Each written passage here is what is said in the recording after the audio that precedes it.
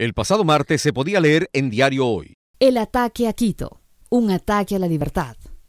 La crónica la escribía Santiago Aguilar, subsecretario de Información del ministro Carlos Vera, en los tiempos neoliberales de Sixto Durán Ballén.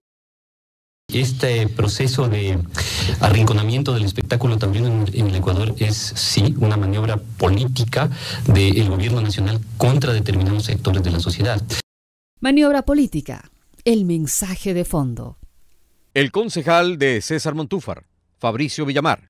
Aquí no se trata de discutir si se prohíben o no se prohíben las corridas de toros con muerte del animal. Aquí lo que se trata de debatir es si es que en Quito tenemos ejercicios de libertad para tomar nuestras resoluciones o no. Se trata del ejercicio de la libertad. Mentira. Y para consolidar este mensaje, desde un principio direccionaron la información. La campaña mediática de desinformación funcionó y las voces se multiplicaron. Osvaldo Hurtado. No nos da libertad a los ecuatorianos para pensar distinto.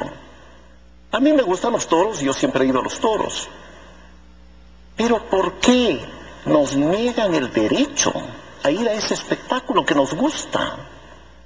O sea que de acuerdo a la lógica de Hurtado, Chile, donde están prohibidas las corridas de toros, es un país antidemocrático? ¿O las autoridades de Barcelona y de otras ciudades de España son autoritarias y donde no hay libertad por abolir las corridas?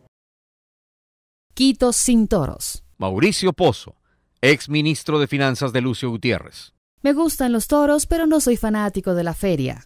Sin embargo, me repugna e indigna esa intromisión oficial en la vida de la gente y en las decisiones privadas. ¿Hasta dónde quieren llegar? ¿Van a obligarme? ¿Qué ropa debo ponerme? ¿Qué carro debo comprar? ¿O qué debo comer los lunes? Hitler va a quedar ameba a este paso. Mauricio Pozo, en Diario Hoy.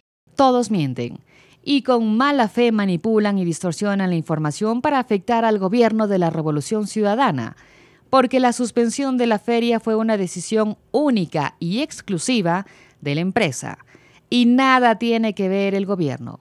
El alcalde de Quito, Augusto Barrera. La decisión de suspensión de la feria es una decisión absoluta, totalmente asumida por la empresa organizadora y las razones que están planteadas eh, terminan sintetizándose en el hecho de que era empresarialmente, comercialmente, económicamente inviable. esta es la realidad. Económicamente y empresarialmente inviable porque cada vez se vendían menos entradas y éstas cada vez subían de precio. En el 2008 el abono más barato era de 49 dólares y el más caro 1.314 dólares. En el 2011 el abono más económico fue de 138 dólares y el más caro 1.446 dólares. Por eso, dejémoslo en claro. Nadie ha prohibido las corridas de toros. La suspensión de la feria tiene motivos económicos y fue una decisión unilateral de los empresarios. El ataque a Quito, un ataque a la libertad. Mentira comprobada.